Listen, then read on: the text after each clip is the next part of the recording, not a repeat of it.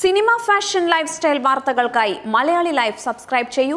Latest അപ്ഡേറ്റ്സിനായി bell ബട്ടണും അമർത്തൂ. കുഞ്ഞുങ്ങളുള്ളവർ വീണ്ടും ഒരു കുഞ്ഞിനെ കൂടി ദത്തെടുക്കുന്നതും വാടക ഗർഭപാത്രത്തിൽ കുഞ്ഞിന് ജന്മം നൽകുന്നതുമെല്ലാം ബോളിവുഡിൽ പതിവാണ്. അവിവാഹിതരായ നടിമാർ കുട്ടികളെ ദത്തെടുക്കുന്നതും ചലച്ചിത്ര താരങ്ങൾക്കിടയിൽ പുതുമയുള്ള കാര്യമല്ല. ഇതാ കുട്ടികളെ ദത്തെടുത്ത ചില ഇന്ത്യൻ സിനിമയിലെ താരങ്ങളെ അറിയാം. നടനും സൽമാൻ ഖാന്റെ പിതാവുമായ സലീം ഖാൻ മക്കളില്ലാഞ്ഞിട്ടല്ല ഒരു പെൺകുട്ടിയെ ദത്തെടുത്തത്. സൽമാൻ ഖാൻ അർബാസ് ഖാൻ സൊഹൈൽ ഖാൻ എന്നീ മൂന്ന് ആൺകുട്ടികളും ഒരു പെൺകുട്ടിയും ഉണ്ടായിട്ടും മറ്റൊരു കുട്ടിയെ കൂടി ദത്തെടുക്കുകയായിരുന്നു. മറ്റു നാല് സഹോദരങ്ങൾക്കുമൊപ്പം ഏറെ സന്തോഷത്തോടെയാണ് അർപ്പിത ഖാൻ എന്ന ദത്തുപുത്രി സലീം ഖാന്റെ കുടുംബത്തിൽ കഴിയുന്നത്. വിശ്വസുന്ദരി പട്ടത്തിന്റെ തിളക്കവുമായി ബോളിവുഡിലെത്തിയ സുസ്മിത സെൻ ഒരു പെൺകുഞ്ഞിനെ ദത്തെടുത്തത് വലിയ വാർത്തയായിരുന്നു.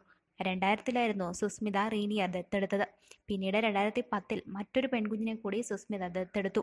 അലിഷ എന്നാണ് ഈ കുട്ടിയുടെ പേര്. ലവ് സെക്സ് ഓർ ദോഘയുടെ സംവിധായകൻ ദിഭാകർ ബാനർജി മുംബൈയിലെ ഒരു അനാഥാലയത്തിൽ നിന്നും ഒരു പെൺകുഞ്ഞിനെ ദത്തെടുക്കുകയായിരുന്നു. ലോകപ്രശസ്ത നടനായ ടോം ക്രൂസ് നിക്കോൾ കിഡ്മാർ ദമ്പതിമാർ രണ്ടു കുട്ടികളെയാണ് ദത്തെടുത്തിട്ടുള്ളത്. ദത്തുമക്കളായ ഇസബെല്ലയ്ക്ക് ഇരുപതും കോണറിന് പതിനെട്ടും വയസ്സായി. രണ്ടായിരത്തി ഒന്നിൽ ടോം നിക്കോൾ എന്നിവർ വിവാഹബന്ധം വേർപ്പെടുത്തിയപ്പോൾ രണ്ടു മക്കളും ടോമിനൊപ്പം നിൽക്കാനാണ് താല്പര്യം കാണിച്ചത്.